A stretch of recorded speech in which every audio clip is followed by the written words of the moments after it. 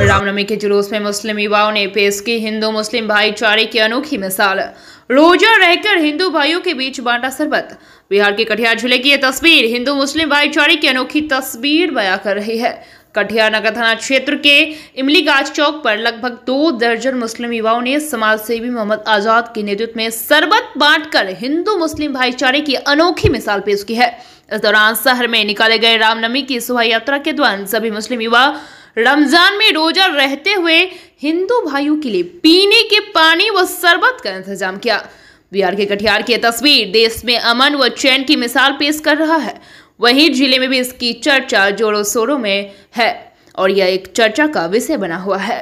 BNP news के लिए कटिहार से संवाददाता रतन कुमार की रिपोर्ट।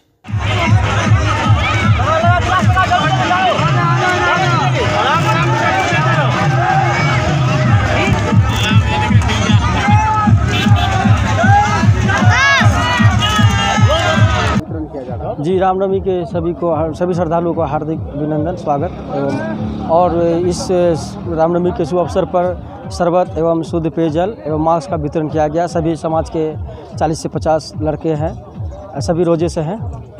मैं मोहम्मद मोहम्मद आज़ाद समाज सेवी कटिहार। कहाँ पे जी ये इमली गाछ इस्लामपुर बर्मा बर्मा नगर डहरिया छिलमारा रोजितपुर वो सभी का अंबेडकर कॉलोनी। ये सब इमलीगा चौक और सभी समीप चौक पे किया गया।